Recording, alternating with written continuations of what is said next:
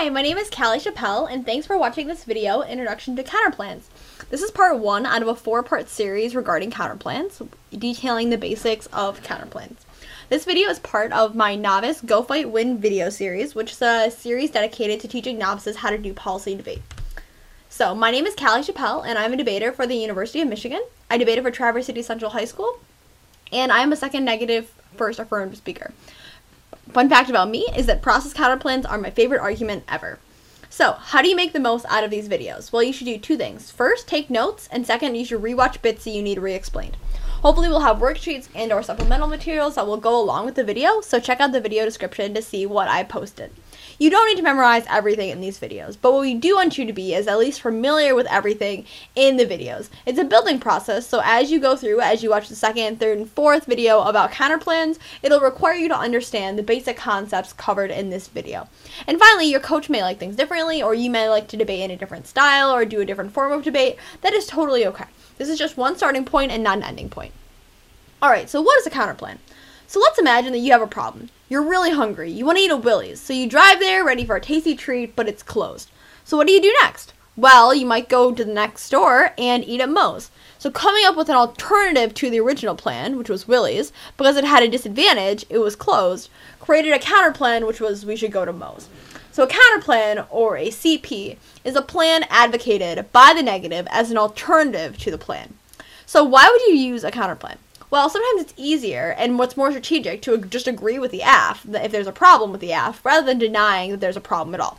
So, for example, if the AF solves poverty, instead of saying that poverty isn't a problem, it might be easier to think of an alternative way to solve poverty.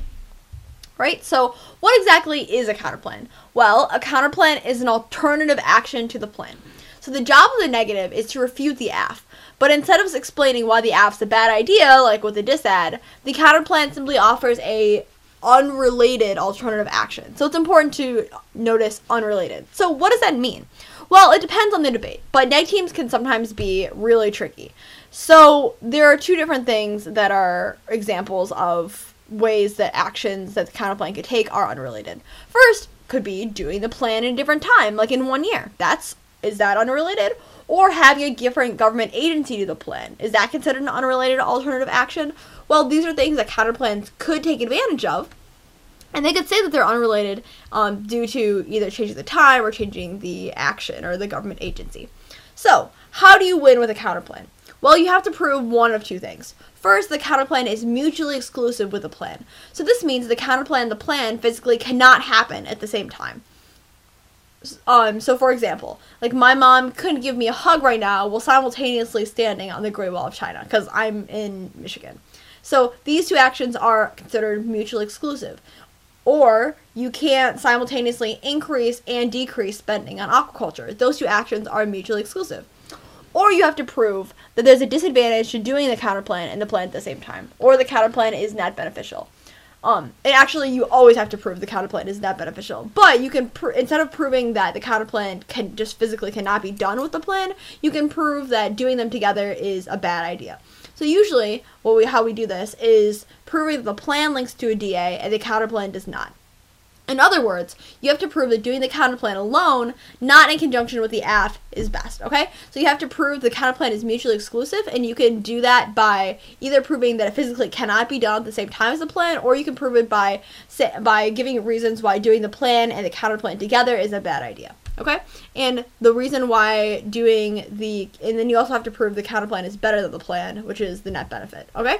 So parts of a counterplan. This is where I'm going to elucidate this a little bit more. So let's just pretend the AF is let's go to McDonald's and the advantage is I'm hungry. So this is the same example that I gave at the beginning of the disad lecture about what a disad is. So the counter, so there are three parts. There's the counterplan text, the solvency, and the net benefit are the three parts of a counterplan. So the counterplan text, just like a plan text, is a statement of what the counterplan does. So counterplan text could be Ben and Dante should give me some pizza. Those were two novices that I taught a couple years ago. Um, second part of a counterplan is solvency. So that's a piece or more of evidence that explains how doing this action will solve all or part of the AF. So solvency is if Ben and Dante go get me some pizza, then I won't be hungry right? So that solves the advantage to going to McDonald's that I'm hungry. However, instead of going to McDonald's, what I'm gonna have um, Ben and Dante do as an alternative action is just have them go get me some pizza. How does it solve the AF? Well, if I get pizza, then I won't be hungry. Just like solving the advantage, where going to McDonald's would also resolve my hunger. And the third part is the net benefit. So it's a reason why the counter plan is better than the plan. So usually this is a disad that links to the plan, but not to the counter plan. So for example, the net benefit would be if I go on teaching the rest of the novices, well, Ben and Dante go get me pizza, then I can keep teaching instead of leaving. So that would be a reason why it would be better for me to have someone else go get me food right now and not go get food myself.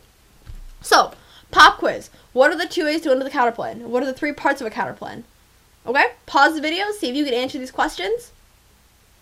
Okay, I'm going to assume that you did it. So the two parts to enter the counterplan are you have to prove that it's mutually exclusive, and you also have to prove the counterplan is net beneficial. The three parts of the counterplan are the counterplan text, solvency, and uh, net benefit. See, here we go. Ways to enter the counterplan, mutually exclusive, net beneficial, parts of the counterplan, counterplan counter plan text, solvency, net benefit. All right, so how do these counterplans compete? So we've got to prove. We're gonna have some examples, and you and you're gonna explain, and then I'm gonna explain exactly how the counterplans are mutually exclusive with the AF or they're competitive. So first is the state's counterplan. So the AF is the USFG increases aquaculture.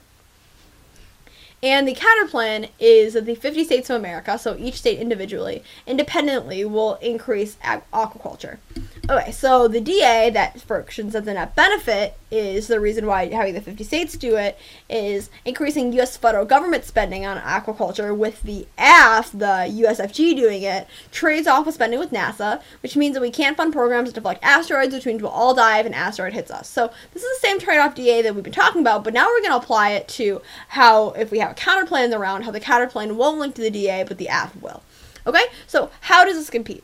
Well, there are two different things. First, it has a different actor. Instead of having the US federal government do it, like in the plan, in the counter plan, the NEG says the 50 states should do it instead. And it has a net benefit. So if the 50 states do it, there's no trade off with funding with NASA, which is a federally funded program. So the net benefit is a disad. Well, how do I explain a net benefit? Usually a disad that links to the plan but doesn't link to the counter plan. Well, it doesn't link to the counter plan because the 50 states aren't the federal government, but it links to the plan because it has a funding trade off within the federal government. Okay? So, this is the litmus test. Can the AF and the counter plan be done at the same time? So, can the AF and the counter plan be done at the same time? Can the USFG and the states do it? Well, hypothetically, yes. The USFG can do uh, can do aquaculture, and then the 50 states would also could also do aquaculture at the same time. But two questions. First, would that way be the best way? Should we just do the plan twice, essentially? Does that make sense? And second, does doing both still link to the net benefit? So, would there still be a trade off in federal funding from NASA if the USFG did it and the 50 states did it? Would, well, yes. The answer is yes, there would still be a trade off of federal funding because the federal government still does it. So, what I'm trying to say here is if we do both, known as the permutation, this is a really important term, does that link to the DA, the net benefit? And the answer is yes. If the USFG did it and the 50 states did it, it would still trade off with federal funding because federal the federal government is still doing the plan. So we can say yes. If the answer is yes to this, we can say the plan and the counterplan are mutually exclusive. So they're not mutually exclusive in the way where they physically can't happen at the same time, but they're mutually exclusive in the way that if you do them both at the same time, it's worse than just doing the counterplan alone. Alright, so let's talk about the permutation really quickly. We're going to call this litmus test to see whether it's um, a good idea to do both the plan and the counterplan together, the permutation or the perm. Um, I'm not talking about the perm that Chutney has in Legally Blonde. It's not a type of curly hairstyle. What it is is, and I, the as I said, the litmus test to see whether you can do the plan the counterplan at the same time. We're gonna talk about the perm soon. We just want you to have an understanding of counterplan competition for right now. The permutation will be detailed more in the introduction to counterplans part two video, or actually part three, detailing AF answers to the counterplan. All right, so let's do another example. So here's a privatization counterplan. So the AF is the USFG does aquaculture, like just like the previous one, but the counterplan now is instead of the 50 states, it's the private sector should substantially increase aquaculture. So the trade-off DA, or the net benefit, is the same trade-off DA that increasing federal government spending on aquaculture trades off with NASA spending, which means that we can't solve asteroids. Okay, so why is this competitive? Again, it's a different actor. Instead of the federal government doing it, the private sector does it. Okay, so the counterplan is actually different than the plan. and it has a net benefit. If the private sector does it, then there's no trade off with funding with NASA, a federally funded program. Because again, the counterplan doesn't have the federal government fund the plan, it has the private sector fund it, or with the state's counterplan, it had the states fund it. Alright, so let's do our litmus test again. Can the AF and the counterplan be done at the same time? If the USFG did aquaculture, the AF, and the private sector did aquaculture simultaneously, which is the counterplan, would there still be a trade off in federal funding from NASA? And the answer is yes. That is, if we do both the blank, does that link to the DA? So, doing both, what is that term? Oops.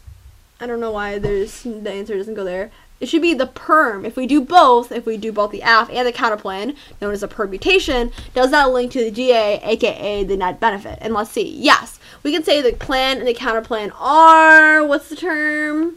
Mutually exclusive. Exactly. All right, here's the last example that we're going to do for right now. The Japan counterplan. So the AF is USFG should increase aquaculture, and the next strat is the following. The counterplan is that Japan should substantially increase aquaculture, and then the net benefit is this Japan DA. So it says, if the US works with Japan to increase aquaculture, it destroys Japan's ability to work together with other Asian countries, which kills their Japan's ability to cooperate with other Asian countries. Asian cooperation is important to prevent increases in military tension in the area, which may cause a war in East Asia. Okay, so that is the reason why the counterplan's good, right? Because if Japan does it, then it causes increases Asian cooperation, which solves an East Asian war. Okay, so why is this competitive? First, it has a different actor. Instead of as just like the other counterplans, instead of the US federal government doing it, then Japan does it instead. And it has a net benefit. If Japan does it alone, it allows the countries to it allows the country of Japan to work with other countries in the area, creating an, an Asian coalition. All right, so here's the litmus test. This one's a little bit different. Can the AF and the counterplan be done at the same time? So if the USFG did aquaculture and Japan did it, the counterplan together, would there be room for Japan to form an East Asian coalition? That is, if we do both, the perm does that link to the net benefit. So think about it.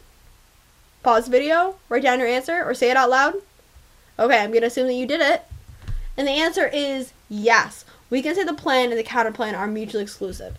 So, oh, I don't know why there's another side here. But the reason why that is, is because, remember, if you go back to the net benefit, if the United States works with Japan to increase aquaculture, it destroys Japan's ability to form an Asian coalition.